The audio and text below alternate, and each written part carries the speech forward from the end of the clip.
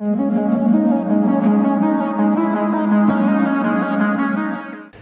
I'm going to talk about the automated finite temperature calculation in Abinit uh, with TDEP linked as a library.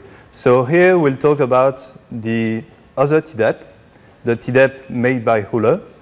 And in fact, the TDEP made by Olle, the, the, the, main difference between the two implementations is that it's a bit more advanced in the process of developing and it already has the capability of uh, computing the thermal conductivity, the phonon lifetimes, and uh, for example also the temperature dependent elastic constant, which is not yet possible in, uh, in the Abinit TDEP. Not yet. Uh, so the, the idea between those, those two codes are exactly the same. It's a mean square, least square um, minimization between uh, two forces the forces from a model that takes into account the second order force constant, the third order force constant, force order, etc. And some forces that comes from DFT calculations. So in the previous presentation, uh, François told us that he was using molecular dynamics to get those forces, those DFT forces. But there is another way. And the other way implemented in the code of Olle is to do some configurations. Configurations is, uh, so you take some phonons. So usually the phonons that you take here comes from, for example, DFPT, or for the Debye model if you don't have, if you didn't do the DFPT yet. And you populate the modes here you populate the modes with a Maxwell-Boltzmann distribution or a Bose-Einstein distribution. And it will give some, uh, some supercell where the atoms are distorted. And uh, when you do the DFT calculation of those configurations, it will give you some forces, some forces that you will input into TDEP, and that will be your training set to fit the force the second order and third order force constants. So the thing is that here the, uh, the phonon frequencies are renormalized with the temperature. So it means that the starting force constants that you're using and the static phonons that you're using to populate the phonons here do not represent exactly the dynamics of your system at a certain temperature. And what you really want is to reproduce the dynamic of your system at a certain temperature to have the properties, the finite temperature properties, at that temperature.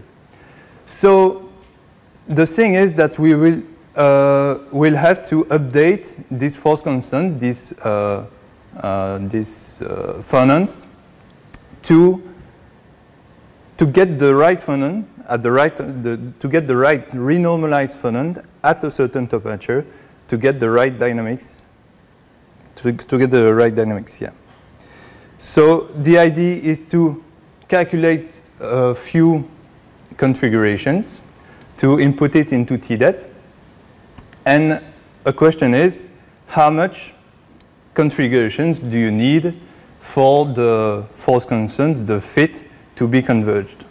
So uh, what I'm using as a parameter of convergence is the free energy.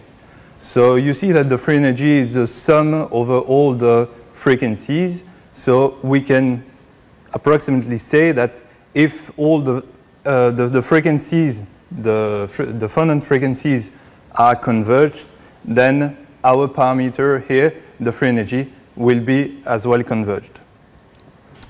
So I did an interface between Abinit and TDEP, where TDEP is constructed as a library, and I'm calling from Abinit, I'm calling the TDEP library to calculate some configurations.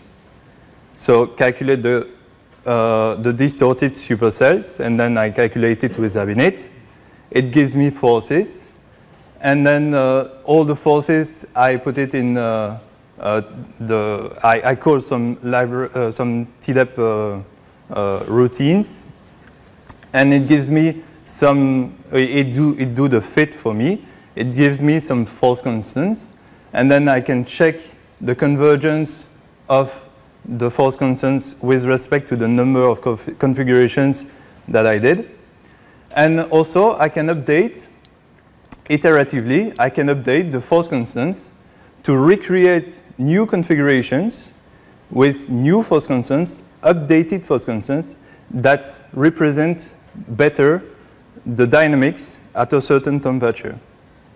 So the idea is here, it's also an automated process where the user uh, just have an input file and maybe also a DDB, DDB file to start the calculation. And then there is an initialization process where I calculate the first configurations and then Abinit, uh, Abinit do the, uh, well, uh, calculate the ground state of the first configuration, the few first configurations, and then it, it extracts some force constants. When it, ex it extracts some force constants, it can calculate the free energy. There is a check to see if the free energy is converged. If it's not, it uses the newly um, calculated force constants to recreate some new configuration and recalculate the ground state of these new configurations and adding it to the number of configurations to, to fit the force constants. And then uh, when the convergence is done, then uh, I can uh, output the second and third order force constants the, that should be converged with respect to the number of configurations that I have. And that should really uh, represent the dynamics at a certain temperature.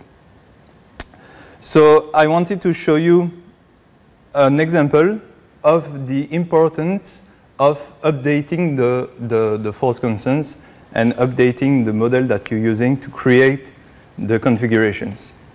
I did a test case on niobium selenide 2, which is a TMD material with a charge and density wave. What does it mean is that at 0K, it's unstable.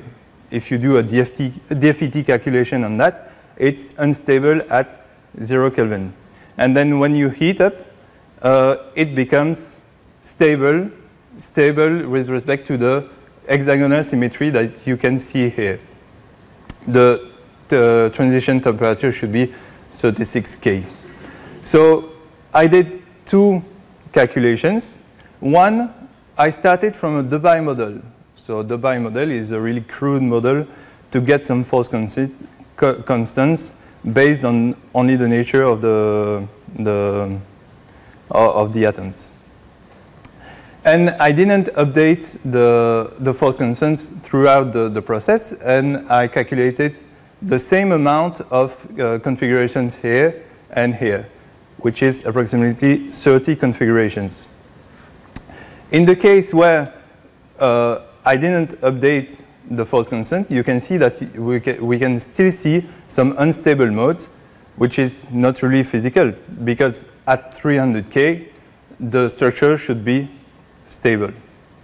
But uh, if I start from DFPT, which is still, which has still some unstable phonons, and I'm, I'm updating the force constants at each step, then at the end of my 30 configurations, of the calculation of my 30 configurations, I get some uh, stable phonons, which represent here the real physical um, uh, reality.